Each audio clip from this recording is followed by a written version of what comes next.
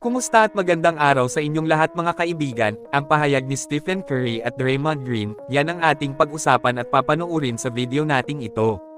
Ngunit bago nga yan ay huwag kalimutan na mag-like at mag-subscribe sa ating channel kung hindi ka pa nakaka-subscribe bilang suporta.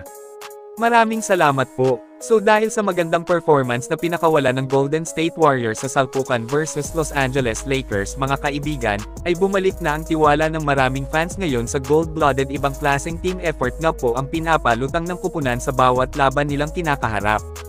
Na kung saan sa last 10 games ng grupo ay 8 ang ginawa nila ibig sabihin 8 sa 10 games na nagdaan ang naipanalo ng team dalawang laban lang ang talo.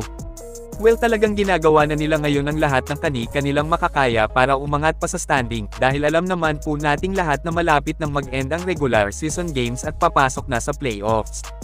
May tatlong games na lang ang natitira sa gold-blooded para makumplito ang 82 games, patuloy pa nating aabangan kung saang pwesto malalagay ang Dubs. Kayo mga kaibigan ano ang masasabi nyo sa katayuan ngayon ng GSW? Mag-comment lang.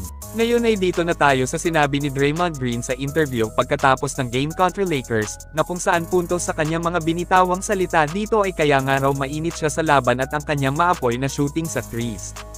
Nandahil daw sa depensa ng Lakers kumbaga parang hinahayaan nga daw siyang tumira sa labas, hindi nirerespeto ng Lake Show ang tira ni Green yun tuloy tameme sila kay Dre Dre. Ito po ang sinabi ng former Defensive Player of the Year. Shoot from the perimeter so much? I had kind of a couple weeks stretch where uh, my shot didn't feel good at all. Um, but really just standing in the gym, putting the work in, and you know, taking what the defense gives me. If they're going to sag off like they were, um, you know, I knew coming into this game that they were going to play like that. So I just wanted to come out, not hesitate to shoot, uh, knowing that they're not going to close out, and just raise up and shoot it with confidence. Samantala dito naman tayo sa sinabi ni Stephen Curry sa interview, punto sa mga binitawang salita ng GOAT shooter ay kailangan talaga nilang maging consistent sa kanilang matinik na tira sa labas, para nang sa gayon madali lang nilang matalo anumang team ang makaharap. Para sa akin pag pumapasok maraming tira ng Warriors sa labas ay hinding hindi sila mapipigilan kumbaga sila ay mahirap na talunin.